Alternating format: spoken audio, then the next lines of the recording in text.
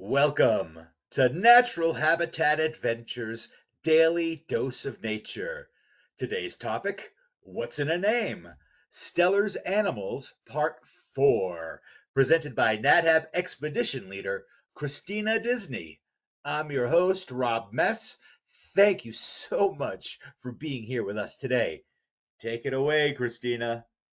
Thank you so much, Rob. And thank you everyone who's tagged along for the story. We've made it all the way to part four.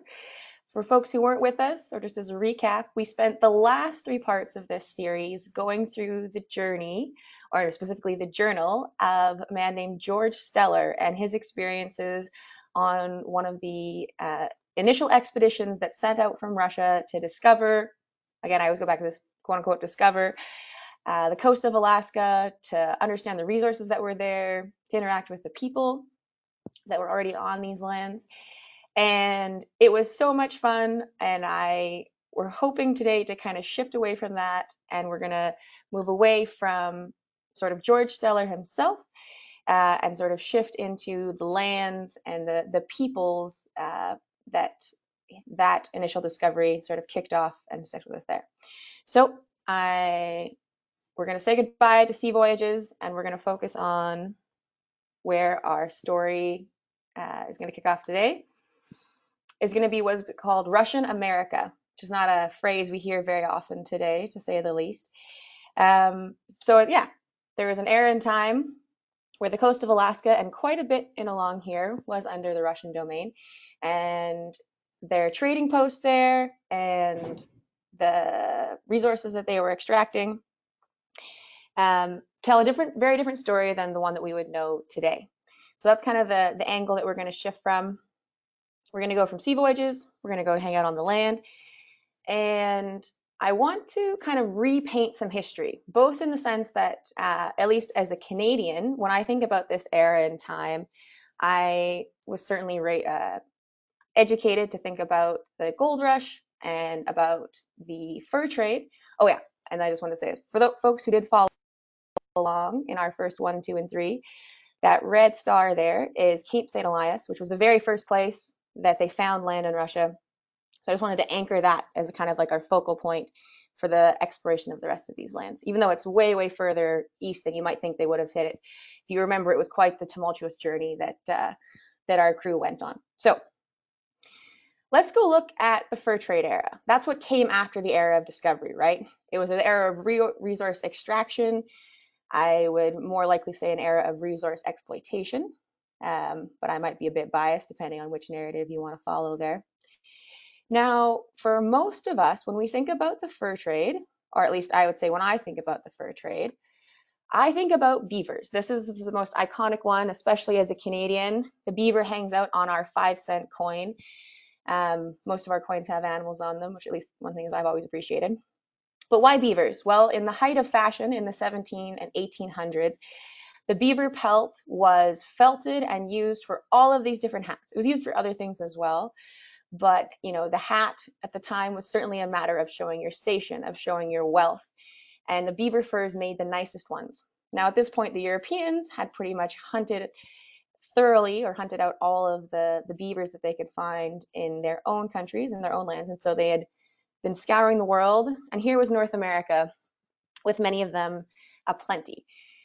Now, that's from a land perspective. I think we forget that there's also a marine perspective to the fur trade. And that as these adorable creatures as well, still in the rodent family, but these are sea otters.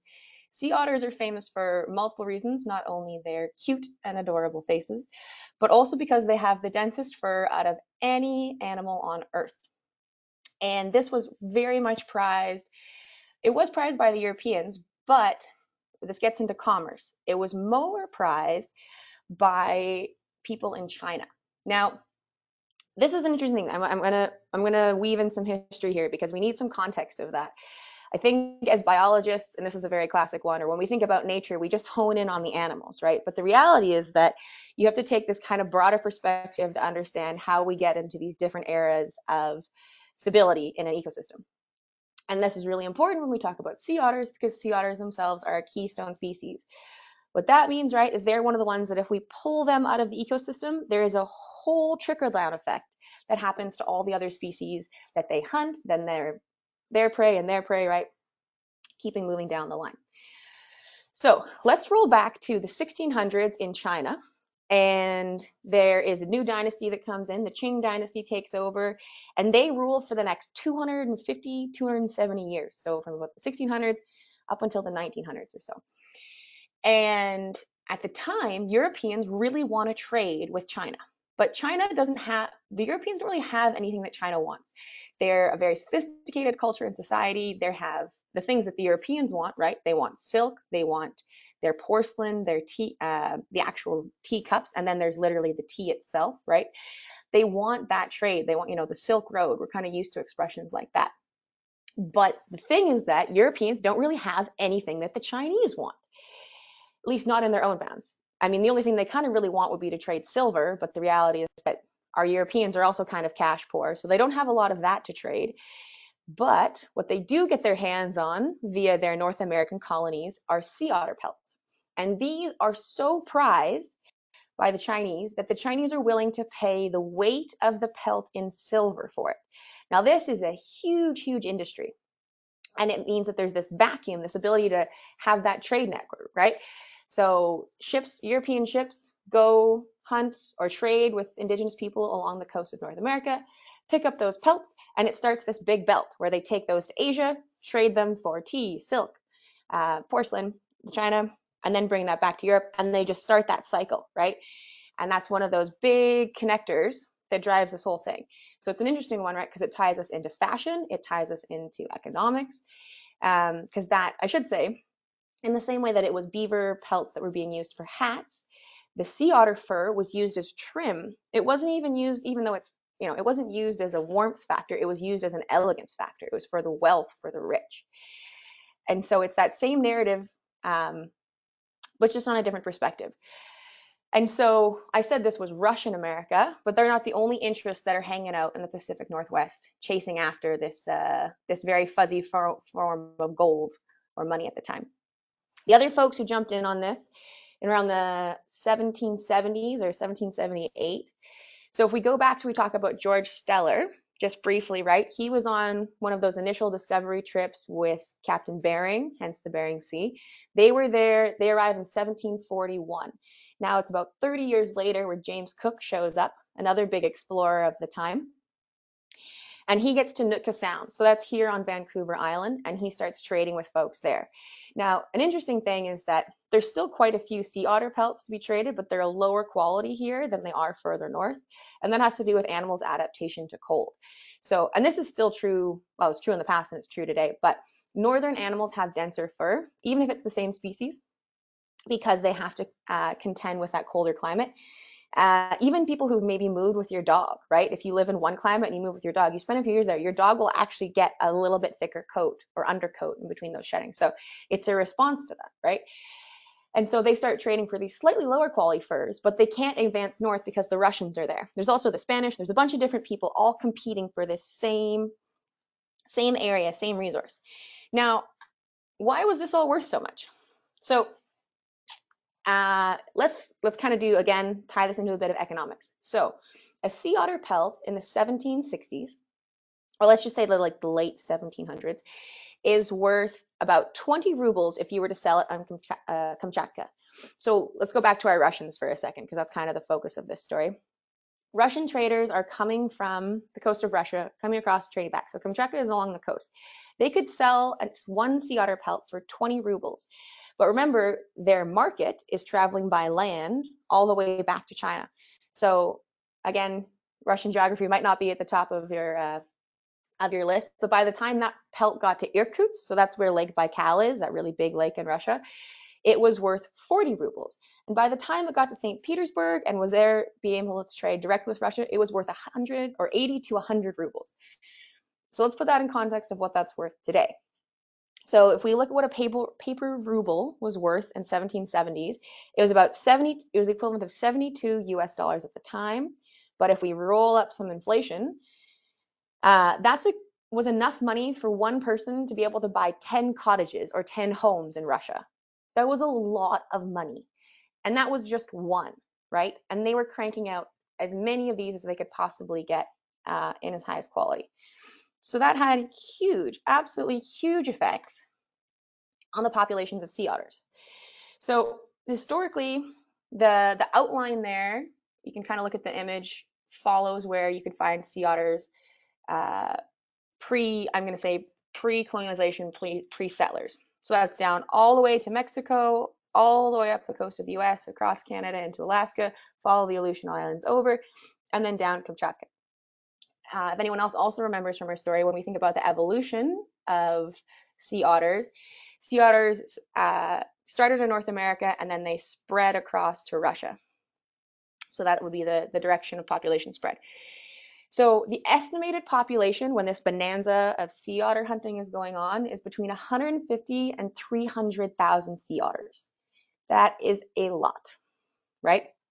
I'm going to tell you that by the time 1910 rolls around, there are less than 1% left. There is estimated to only be, sorry, excuse me, I have the sniffles. There is estimated to only be 2,000 sea otters in total. And this is a really interesting distinction when you look at range versus population. So the range stayed relatively consistent in the north, but the population was much less, but we lost most of our historic population along the coast of the US and through most of BC, right? Now, those blue dots that you see in Canada here um, and along the coast, those are reintroductions. Those happen uh, within the last 30 to 40 years. And so the populations have been reestablishing, but it's still super duper low numbers, relatively speaking to, to what there was before. Now, there were a lot of these, right? I said they were a keystone species, which means that they're, one of their primary prey was sea urchins. This is a very common story for folks on the on the coast. Sea urchins eat our kelp, which is kind of like our nurseries of the oceans. That's where all our little baby fish grow up. So if you cut out the nurseries, you destabilize an ecosystem, which is essentially what we lost when we lost the sea otters and that massive population. Now, when they survived, uh, by the 1900s, right, because it, it, was still a gold rush for more or less 200 years, they were still worth a lot. There was fewer of them, started getting smaller as well, so weren't growing as big a size. Um, but they survived in only 11 isolated colonies, kind of dispersed in along the Aleutian Islands, um, one in Puget Sound. They have records of the last wild sea otters being killed in 1906 in Oregon and I think 1910 in Washington, right? So like just completely pulled away. So I kind of jumped a bit ahead into the future there, or sort of walked us through a couple hundred years of what happens to our sea otter populations. But the the image I want to drive home for anyone who's from the Pacific Northwest or if you haven't been here was that if we roll the clock back a few hundred years, this is a place of abundance. There is so much sea life that is just teeming with it, right? And so if we think back to folks who are not from this region, who are not indigenous to it, and by that I mean a lot of our colonial powers, we could say that the cat is out of the bag. It's the late 1700s. Russia has laid claim to the coast of Alaska. The British have Hudson Bay, and they've laid claim to most of the interior of Canada into BC. The Spanish have kind of pulled out a little bit, and the Americans are also there, and they're all vying for this resource extraction. And so it's uh, it's kind of interesting because we start to see how different colonial approaches result in different effects on the people and on the ecosystem. So what do I mean by that? This is what was considered Russian America at the time, sort of late late 1700s into the early 1800s. And there's an interesting distinction of how these different big powers were colonizing the Pacific Northwest. One of the things to note about the Russians is that they didn't put as much um, they didn't invest as much directly into the land. So what I mean by that is they weren't bent on building giant settlements and settling people there and claiming it that way. They were just intent on coming, taking what they could, and bringing that home. Now, in contrast, we think about the British, they spend a huge amount of resources setting up settlements, setting up colonies, trying to get their people planted there. So, like as an interesting note, so the Russians more or less have this for let's just say roughly 100 years, mid 1700s to mid 1800s. And the average population of Russians in the whole of Alaska, it's already not very populated in Alaska, right? Well, they kept it at about 500 to maybe 800 who would be considered Russian citizens. Now, there's a bunch of people who are half indigenous and half European, and there's some other mixes like that, but just on paper, that's what they call the Russians. Now, the Russians who came to stay, or at least uh, either came to hunt and come back, they were known as, and let's see if I can get this, the Promyshlenniks. Sorry, uh, my my accent's a bit off here. So those were kind of the equivalent of our like French Canadian trappers. That's kind of who I would call them closest to. And they were their name translates into the hunters. But what's interesting is that they actually did very little hunting themselves. They would use the indigenous folks at the time, the different nations, um, to hunt and either be actively a part of it or just simply trade with them afterwards. And so these relationships, right, change the narrative of what was happening before. Before it was subsistence hunting, so these populations are there, but it was only to take enough to feed or to trade within their their local networks. Whereas now they're trading to export. And it's kind of interesting depending on which part of history you jump in and out of this because one people say it's like well like why do they have to participate in that? Right? And there's lots of different reasons um, but i'm just going to choose one right now which is that the fact is that uh, if we take a look at what's happening broadly across all of north america with different indigenous groups you have had not only one but two different cycles of disease roll through so there's a huge population loss. Um, which means that communities that are generally structured around communal roles and population taking care of each other that way don't have the number of people in order to carry out the same traditional way of living. So they've lost that. And they're also losing the abundance, right? So now we're competing for this resource. So there's not enough left, to, so they can't actually access themselves. So they have to get tied into resources from afar in order to complete their what would have been subsistence loop.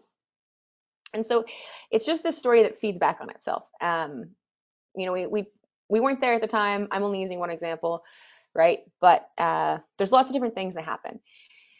And I guess I also want to take this time because when we're also looking at history, we can paint it in many different colors of brushes. And sometimes we gloss, gloss over the harsh and dirty details, and sometimes we use them as examples.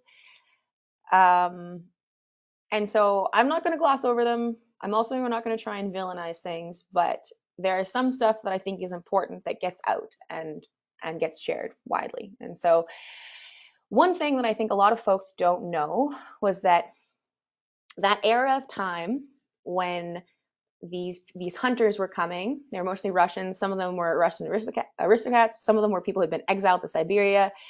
Um, right? But essentially, before the Russian government kind of took hold of things and we'll just say ran it in a different way, I'm not going to say better, but different, uh, it was a free for all out there. And what lots of these hunters would do is they would go to these coastal communities, they would kidnap women and children, and they would force the men either to travel with them and hunt or to go and hunt and bring back X number of furs. And if the men did not come back in time or in a certain amount of time, then these hunters would either they were sexually exploit and or kill their hostages. Uh, in 1745, there was 15 women and children that were executed to set an example for these communities. So it was a form it was a form of slavery. That is what it was.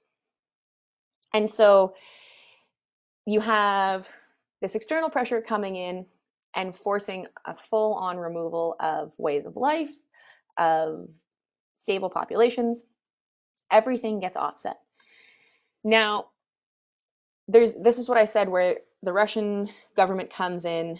So it was the Wild West. Essentially, before there were any rules, the Russian government comes in and says, all right, we're going to change this up a little bit. And they create what is the equivalent of, for Canada, what we had is the Hudson Bay Company.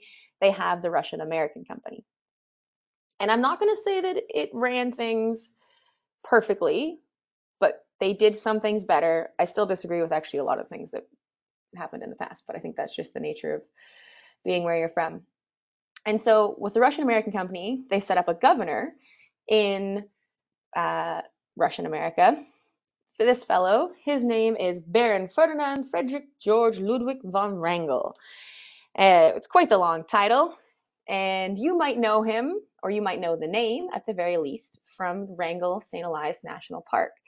That's where the Wrangell Mountain Range gets its name from. For folks who followed around in parts one, two, and three, St. Elias, that mountain gets its name because it was the first one that George Steller and all those folks on that ship in 1741. It was the first piece of Alaska that they saw near, uh, very close to St. Elias Day.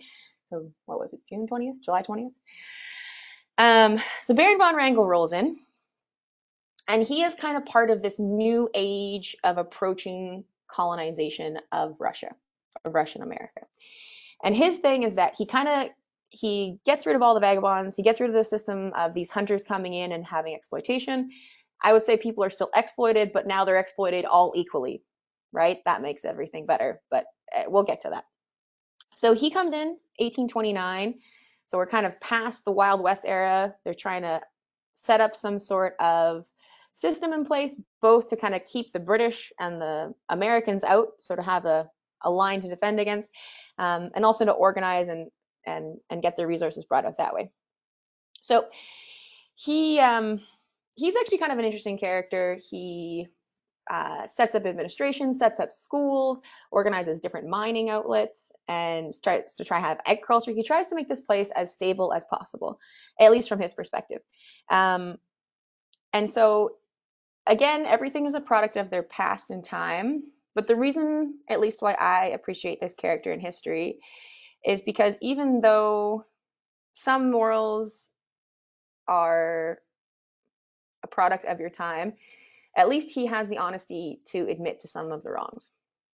So this is from an ethno, ethnobiography he wrote when he was done being the governor in 1834. He he wrote about the seven years or seven years at the time that he spent there, and so I just want to read you this one passage because I think it it speaks to a lot of what was going on at the time. Compelled by truth and humanity, I have described the conditions of the Aleuts and the Kadiaks accurately, but it would be unjust to lay the blame on the company alone.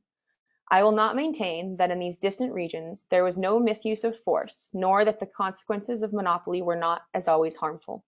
Only during the four years prior to 1821, in which, the in which years the company's management issued new regulations, having received the opportunity to renew its privileges for a further period of 20 years, did the company treat the peoples entrusted to it, so those are the indigenous people to clarify, with it with even the generosity and care directed by the government whose particular protection of the company enjoyed. So basically, the company was given full rights to this, and the government said, stop being awful, is the short version of that. So they were less awful afterwards. The injuries suffered by the peoples of this land when private traders were still visiting, so those were the, the hunters, uh, and before the latest reform of the colonial administration were, as far as possible, healed. Now, I would totally disagree with that sentence but well, this is what he thinks is a, is a makeup for the years of torture uh, and enforced slavery. The manager and head department and departmental heads were held responsible for all oppression and offenses, and the company spent significant sums on the establishment of charitable institutions in colonial districts. Hospitals and schools were erected in New Archangel, Archangel, Kadiak, Unalaska, and Atka, which the inhabitants could use without charge. Priests were assigned to churches in these places and instructed to visit all the other places in the colonial annually. So they admit that there were like terrible wrongs that were done. So there's a step in the right direction. I think this is also the sign that that notion that Western culture is still superior and that we might have destroyed their culture, but look, we made it better because we gave them ours. So that's the part where it kind of fall off the bandwagon with me but it's this interesting like savior complex tied in with like some base amount of humanity um and so right his name is still hanging out on the park today whether most people realize that it was because he was the first governor or not uh, and as most things people are not all good nor all bad um, everyone kind of makes it through the world as best they can but it, it sort of sets up this notion that we've taken away the culture that was there and we're going to replace it with our own. And that's kind of the next era. That's if we jump in now if we're shifting into the, the early 1800s, the Russian American company sort of settles in. And but what's happening is that a lot of these resources are depleting. So if we have all of these people going after sea otters and other furs, then the competitive competition gets quite heavy. And so I said that things were better if you were indigenous, uh, but I'm not going to pretend that it still wasn't actually a form of enforced slavery. And here's one of the examples of that. So their communities have been destroyed or mostly abolished, and they're now tied to resources coming in from the outside, so coming in from Russia or coming in from the south. And if they were if they were to accept any of the resources, they were required to do a three-year minimum service for any goods received by the company. So now it's not outright kidnapping, but if you want any supplies, you have to spend three years of your life working for us. If they were half indigenous and half Russian, they were, and if they were educated in, in, in compensation for their education, they had to spend 10 years of service. And so again, you can see that it's, it might be have a different flavor. And I think that, you know, some things were made better, but there is still that, um, that yoke is still put on the people.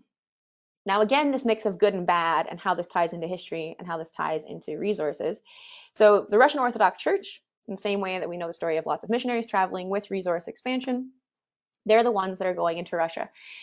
And so, again, it, it's for the purpose of spreading religion. But one thing I find super interesting that was a different approach um, than maybe some of the other colonial powers that were coming in was that the Russian Orthodox Church really focused on learning all of the indigenous languages and rather they didn't try to teach people Russian first. They learned the languages that were there and they spent all of their effort translating the Bible into those language groups. And so that meant that um, there was actually a really strong language resilience. And so this is important when we think about the history jump between when the Americans buy Russia from or buy Alaska from Russia.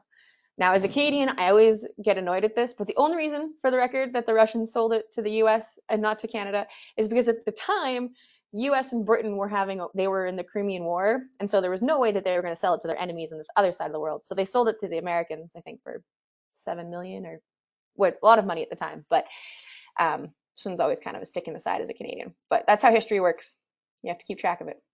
Okay, so now there's a big shift that what happens as far as church-wise. The Russian Orthodox Church is pulled out when the Russians no longer own Alaska, and uh, missionaries come up from the south. Now they have a much different approach, and when they come up, they ban the religion. Um, and it, or sorry, they don't ban religion; they ban language. They want everyone to be speaking English, um, and anything else is heresy. Her Heresy? That's not the right word.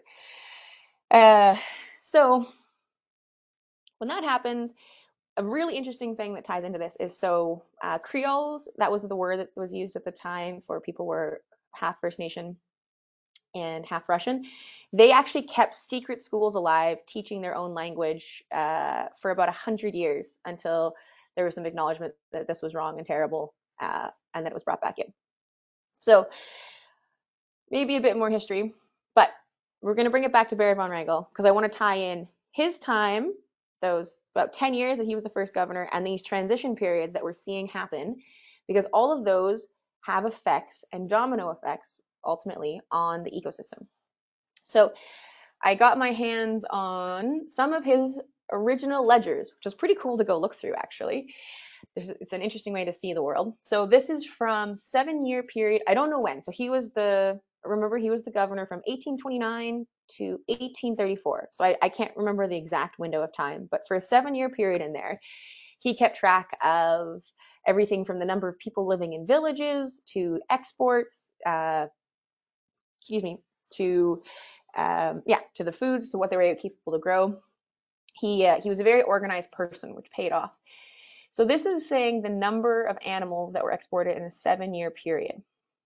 So there are right? And these these first, second, and third sizes, if you're looking at those, right, you can think about. I mean, it's both size and quality is one way to think about it, right? The bigger it is, the nicer the fur, the more they would have gotten sold for, right? So there's there's 10,000 uh, that are taken care of, right? If we're looking at sea otters, you've got almost 40,000 beavers, you've got 5,000 river otters.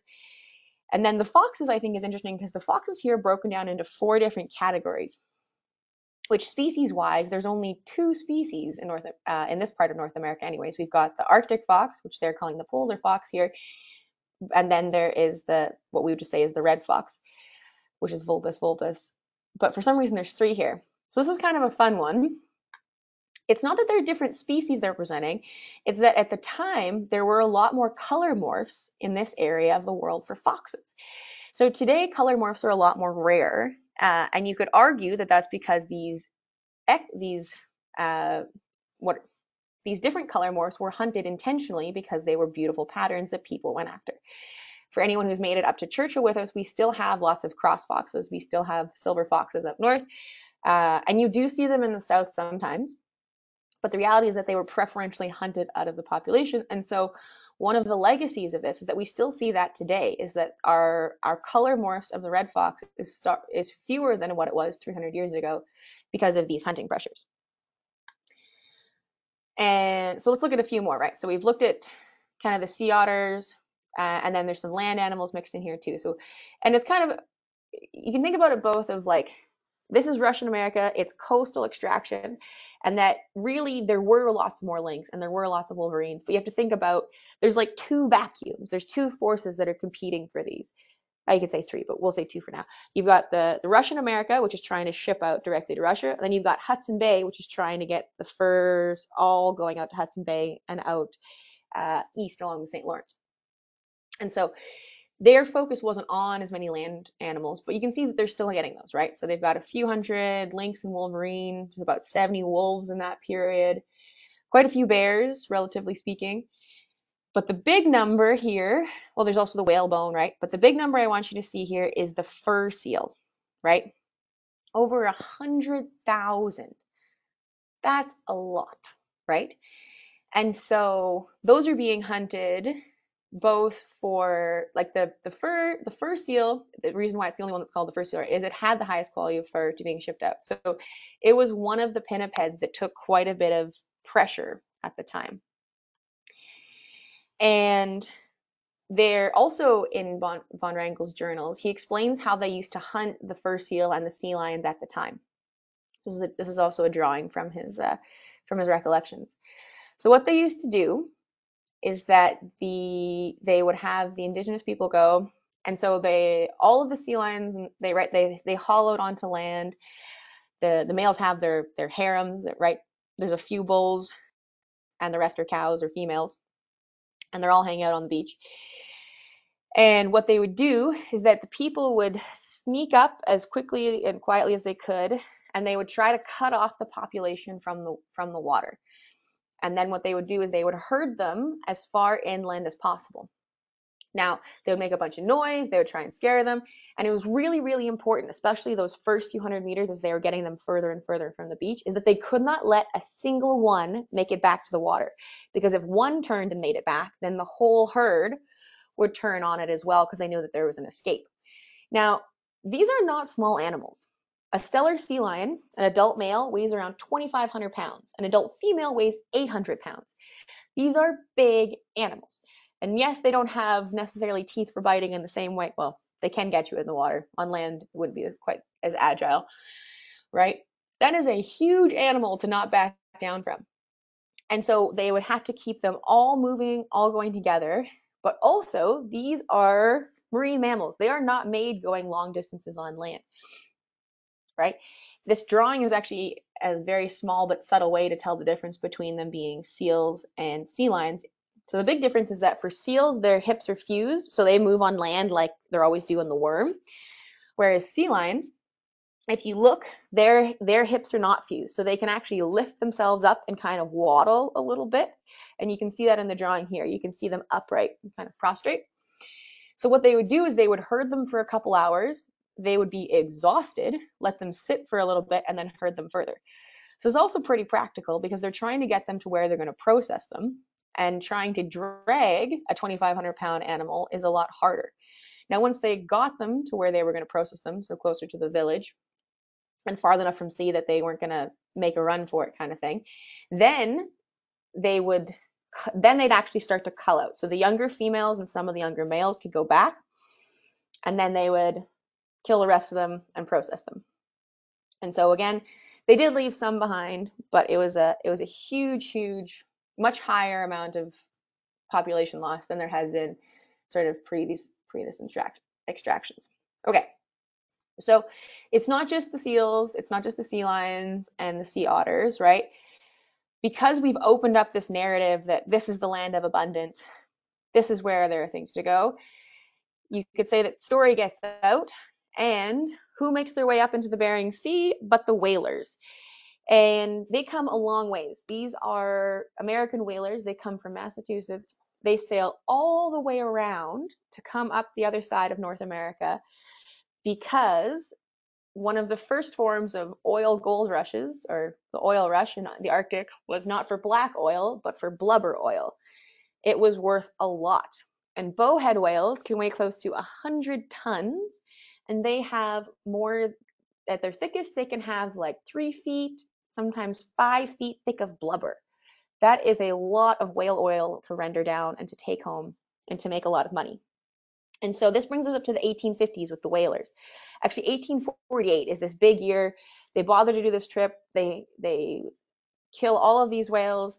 They stay over in Hawaii and they send word out being like, "Hey, this is this is the best hunting grounds. Everyone come." Or at least word gets out was one way to say it. And then this is what's really interesting that happens is that there is a huge onslaught of, of whaling for about two or three years, but the whales get wise and they change their behavior. Now, bowhead whales, part of the reason why they have such thick blubber, especially in along the top, is because they're one of the few ones that can actually break pack ice. And so they, the whales, after this hunting pressure, they started living closer to the sea ice, which is too close for the ships to be able to go. And so that actually gave them a bit of a buffer. But what we can say is that it didn't last too long because they kind of there was a bit of a lull for about 20 years and then the whalers came back with different ships and different whaling techniques and they were able to get really close to the ice. And what ended up happening was that the population dropped from around 30,000 to an estimated around 3,000 it was a huge huge loss. Sorry. Now besides them as being beautiful intelligent creatures on their own and that being a tragedy one thing that people don't think about, maybe quite as directly, is the role that whales play in their marine ecosystems. I like scientists, we sometimes make up funny names for things, or sometimes we just make up really silly names. Uh, I don't know if this makes sense or not, but we call it the whale pump. So, what do I mean by that? Is that whales are one of the few animals, and also a very large animal, that goes to the surface, comes to the surface, has to breathe, goes down, and this is for both different species, whether they're feeding on krill and plankton like our bowhead, or whether they're uh, feeding on octopus like our sperm whales. They go down and they represent a nutrient pump. So when they go down to the bottom, they pull nutrients that have sunk deep into the ocean back to the surface. They take a real nice big whale poo, which is again a big whale poo, and that is one of the things that cycles a huge amount of nutrients back available to photosynthesizers. Now, you might think that, oh, you know, I mean, sure, a whale has a big poo, but that's not so much. Well, think about 30,000 whales. That is a lot, right? uh, think about how we try to manage livestock on land and feedlots. The biggest thing is managing waste. Well, in the ocean, this was very intentionally cycling nutrients. And now you've just cut out you've only got 10% of your nutrient cycle still happening, well, that's going to feed back to your whole ecosystem. Your photosynthesizers, which are at the very base of it, which give all the energy to everybody else all the way up the line, you've just decimated one of their nutrient sources. So there are a lot of trickle down effects when we take out some of these big, beautiful creatures. And it's not just from sort of a marine perspective, we can also think about salmon, right? So salmon represent this very integral connection between te terrestrial or freshwater ecosystems and between the marine environment. This is a pretty cool photo because uh, it's something I didn't really think about, or you can think about it, but you don't realize it exists until someone can show it to you. So salmon were also something people started chasing, right? This is a fish wheel.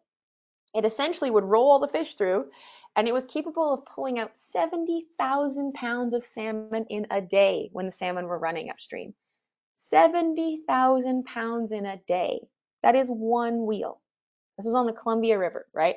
Which was again, it's a big, massive river. It was one of the, the largest populations of salmon that came up and through here. And so it was a big deal.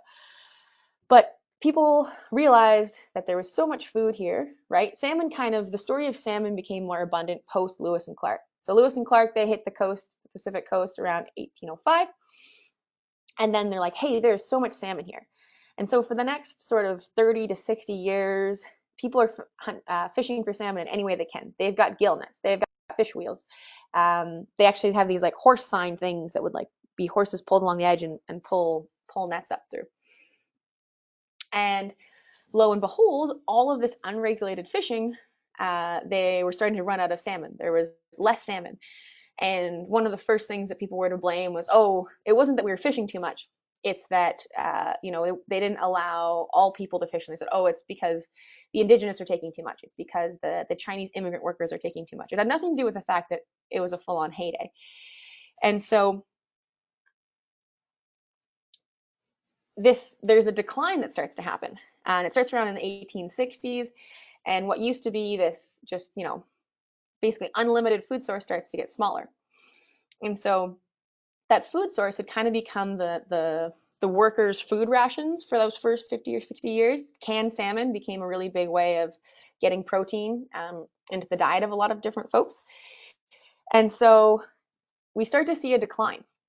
And they start to acknowledge that hey you know maybe we should uh, maybe we should start having some regulations about this but i can tell you that it actually takes a really long time before anyone says oh we should probably have some sort of recovery acts so this is just one specific place but i think it's kind of a good imagery of how fish populations, or at least in this case, it's spring chinook, have declined. So this is uh, Willamette Spring in Oregon. You can see the number of fish are, you know, in the hundreds of thousands in the 1800s.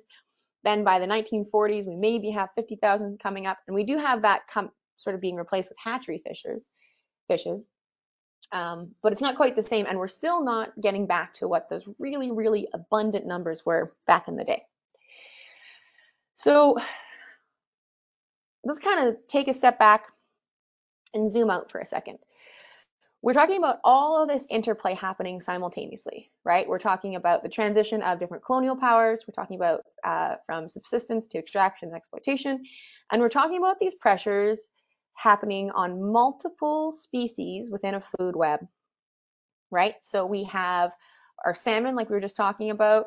We have our whales, that's been decreased. We have pressures on our pinnipeds being hunted in mass on land, right, from the rookeries. And so it's not just one thing, it's all of these things happening at the same time that cause these rippling or rippling effects. And so I'm talking about these things that have all happened 300, 200, 100 years ago. And we're still living those choices today. We're still living that extraction today. The difference is that we don't know, right? um, I didn't live out on the coast here until three years ago. And I, I think I maybe heard stories before, but one of the most common stories that I hear now is when people talk about, you know, there used to be so much salmon in the rivers that you could walk across their backs.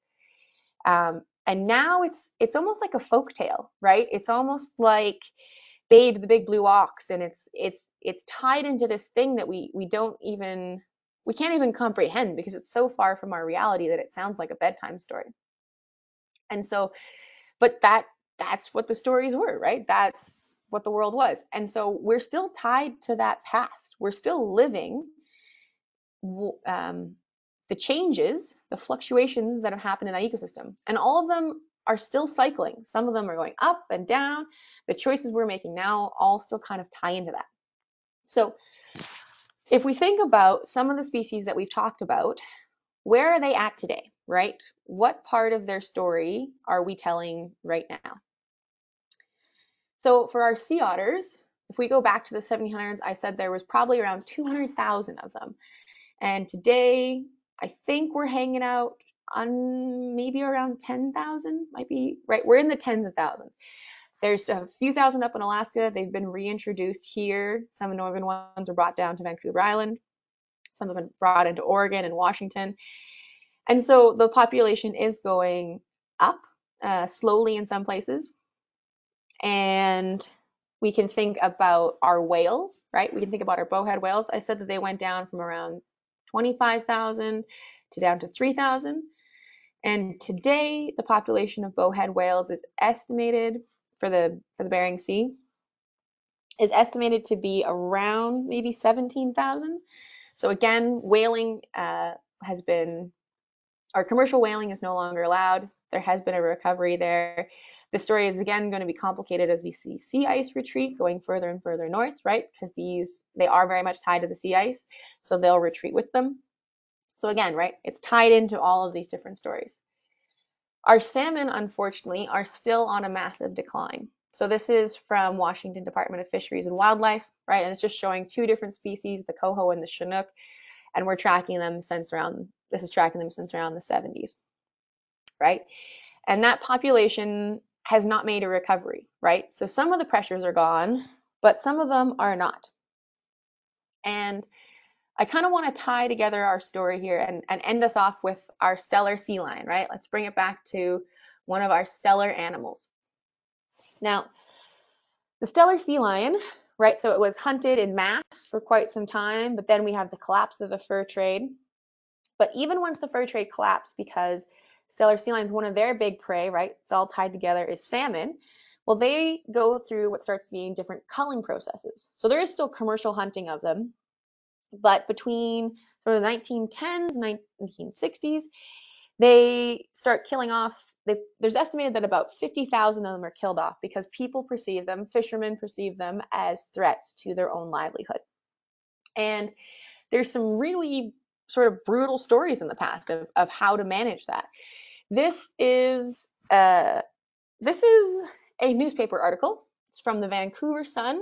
It's from July 1st, 1923. This was the front page. Hunting sea lions with machine guns. Wolves of the sea do such huge damage to the British Columbia salmon that the government sent out an expedition composed of one Lewis gun expert and three sharpshooters to exterminate as many as possible of these mammals. Yeah. Yeah. Right? To exterminate these mammals who have lived here long before us and who are a functioning part of the ecosystem. And they're the reason that there's no salmon. Yeah, not because of anything else that's going on at the time. It's a bit of a brutal one. And you think, Kristina, this was in the past. We're so much better than that, right? We've come so far. Uh, they've been protected since then. 1970s, we've been protecting them since then in BC because the population was so bad. They've been protected in Washington State since the 1990s, and I can't remember when Alaska started. It might have been at the same time. So you're like, Kristina, we don't we don't do that anymore. That's not uh, we've we've come a long ways from there, right? Uh, have we?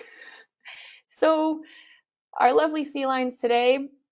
This is a very active debate and conversation in the marine man, uh, in the management of marine ecosystems along the Pacific Northwest. If you look at the bottom here in the date, the date is October 22nd, 2020. What would a British Columbia seal and sea lion cull actually entail? Proponents are calling for the deaths of at least 75,000 seals and sea lions. It's not in the past. This is very much still an active conversation because we have a finite resource that is declining, which is the salmon, and there is a competition between who thinks they have the right to it. Is it the ecosystem or is it the consumption as a food resource? And it's just, it, even the fact that I said it that way, I feel like it's the fact that there's a dichotomy there, that it's one or the other. Um, and the fact that, you know, they think that if we take the sea lions out, it'll make things better. And this is not just sea lions. Uh, our Steller sea lions are not the only one facing this issue. This is the exact same thing, even with our sea otters, right? So we're talking about sea otters, which have not even come to 10% of their previous population. But different people whose livelihoods are tied to marine ecosystems are being upset by their reintroduction because they are destroying sea nets and they are taking their, uh, you know, they are taking crabs. They are competing for the same resources that we are in that sense. And so it gets really complicated. It's not this black and white uh, story, right? But I think the thing that I'm just like so blown away by is that I guess the thing that bothers me is that we think it's our choice. Um, and in some ways it is because we have the capacity to to choose what we do with it. But the fact is that things are not right or wrong and that everything is connected and everything's tied together. And I think this quote is such an interesting perspective of that because you realize it's all about taking sides. It's not about right and wrong, it's about taking sides. That's what's going to decide what happens to these animals. So this is a quote from Andrew Trites. He's uh, University of British Columbia Marine and the Marine Mammals Research Unit. In this case, he's talking about harbor seals. He says harbor seal populations in British Columbia have been stable for 20 years, and that any massive cull would have serious consequences for the threatened transient killer whales. So those are the ones that rely on they they prey on seals and other marine mammals. On the other hand, if salmon populations do increase after a cull, it would benefit the endangered salmon-eating southern resident killer whale. So just in case folks didn't know, uh, orcas, they're different populations that rely on different food sources. Here in the Pacific Northwest, we have resident killer whales, which only eat salmon. They don't hunt seals or sea lions, versus we have transients, and their main food source is, is other marine mammals, so our pinnipeds. So this notion that, like, you're like, how in the world could someone say we need to kill 75,000 seals and sea lions? Well, if they're if you're pro fishing resources, if you're pro or pro salmon eating orcas, then this maybe is a good thing. If you're thinking about the function of what those marine mammals are for killer whales that are resi- uh, that are transient, right, that hunt those marine mammals, that is a huge, huge loss. And right, it's it's this big debate that's actually still happening today. One of the other guides, uh, Rachel Sullivan Lord, this is what she studies. She is one of the people who studies marine mammals she studies sea lions and, and seals and their response to killer whales because we're trying to understand you know what choice we do have to make here. Uh, and i'm biased if that's not already clear that right it's not it's not about i mean i, I don't really want to use the expression but it's not about playing god right? There's there's all these different ways and i think the big thing is we just have to learn to be a part of the whole food web uh, be a part of it not on top of it not pulling all the strings, just be one piece in it. And so this right here, uh, and it has to do our, our perspective, I think, is is is kind of like the biggest hurdle to get over. How we saw the natural world in the 1700s was something to be taken from. How we see it now is something for us to control and puppeteer. Um, and I think we just have to kind of like revision how we want to be a part of the ecosystem. So this is this is just a very classic map, right? This is showing critical habitat for Steller sea lions along the coast of Alaska. It shows uh, right foraging areas, things like that. So that's one way we could choose to look at an ecosystem. This is another way, right? This is a satellite image of the Bering Sea, the closest point between where Alaska and Russia connect. It's only 58 miles across. It's not very far, right? And what if we stop thinking about these as different things, right? This connection between the two. What if we think about it as a whole unit? Wouldn't that be a different way to think about it? That we don't think about political boundaries. We just think about these animals that are calling this whole place home, right? So the satellite, that's like this top-down view. That's the one way we think about it. Uh, we teach this in biology. We teach these food webs as kind of this like cross section of like, here's how everybody is connected, right? But we could look at it differently. We could teach it. What if we taught it from the bottom up? What if you imagine laying in the holdfast in the bottom of a kelp bed and just seeing all of those nursery fishes, all of those little baby fishes making their way through it. And some of them are going to survive and they're going to grow into big, beautiful salmon, and some of them are going to get eaten and they're going to feed the up the further up food chain.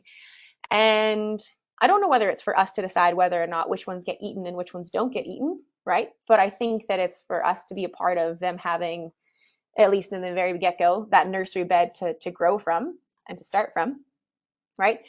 What if we, you know, if we go back to this food web notion, right? And we can look at it from the from the perspective of all these different animals. We can look at the exact same food web and see it a much different way, right? This is a little baby Steller sea lion um, that will you see they're, they're growing into their flippers or their fins still, right? So rather than thinking about do we choose to cull, do we choose to not cull, how do we look at the food web from this sea lion's perspective, right?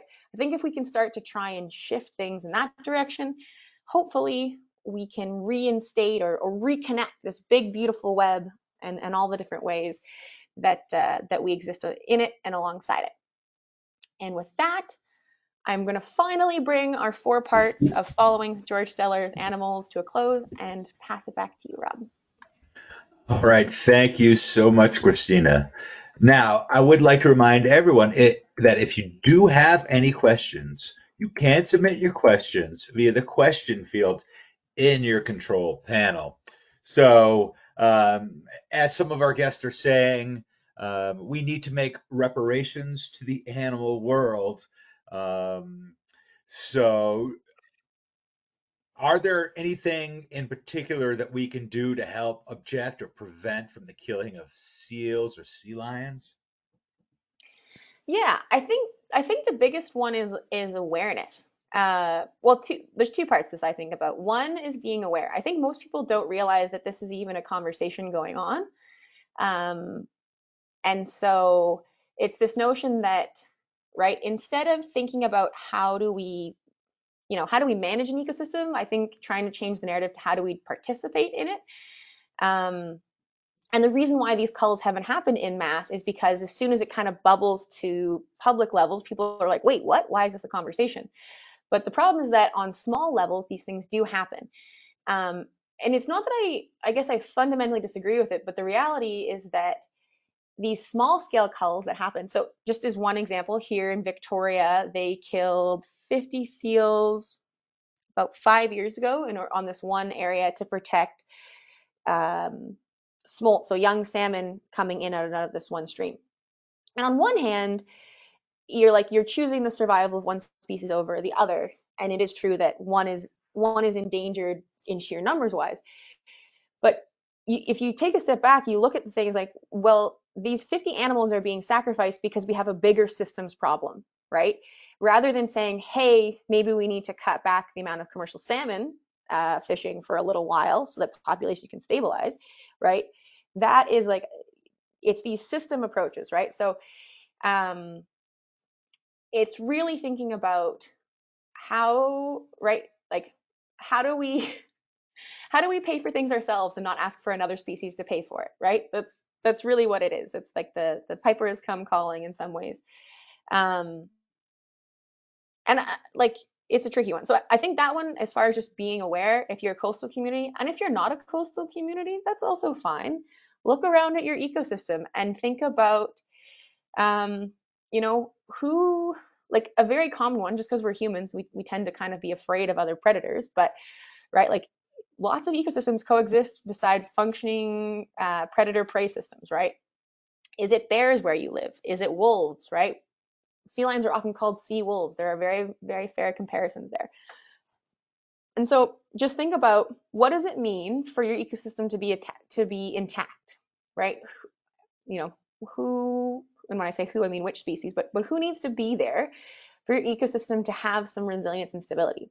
Because I think that's what what's kind of terrifying people sorry i realize this jumped into something else but people are scared because there isn't any resilience left. When we talk about abundance that's one thing you know you talk about so many salmon you could walk across their backs you talk about all these whales and the fun whale pump. But it's this notion that if you live in a world where if you take one piece you know one one one whale out or one salmon out it doesn't all crumble but we've gotten our ecosystem to such a fragile point that we're eh, that every single one actually counts now because our ecosystem can't shift and, and come back from it right? So and and so we're trying to stabilize that resiliency by taking other pieces out rather than fortifying the whole system rather than diversifying it.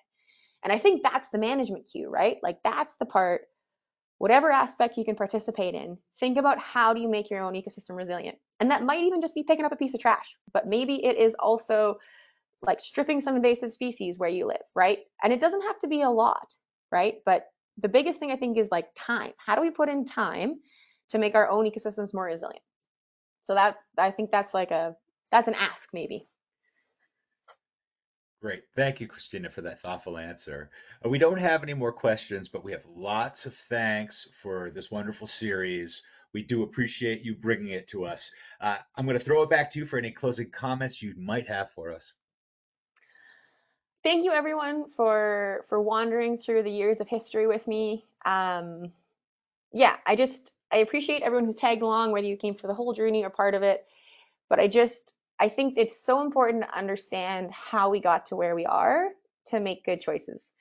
Um, I could say it lots of more elegant ways, but I feel like that's really the most important t- part to me. And I feel like that's, you know, that's my time. I guess when we talk about how can I put in time, this is, I hope, one of the ways I can put in time to sort of move us towards that um, and to increase that awareness. So please share stories. Please share this story or other stories with people that you know. That's how we all kind of get the engine rolling in a good good direction.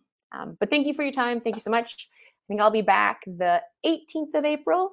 I don't know what we're gonna do yet. We'll see what uh, what we stumble into then, but it'll be a good story, I promise. All right, thank you so much, and I'll pass back to you, Rob.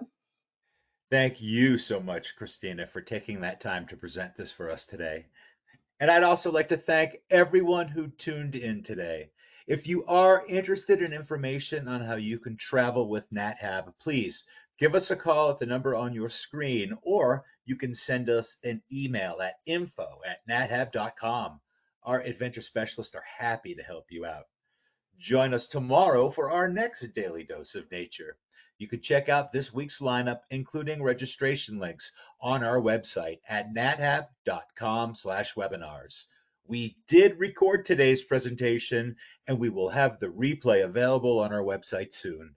With that, I will conclude the webinar. Goodbye, everybody. We will see you next time.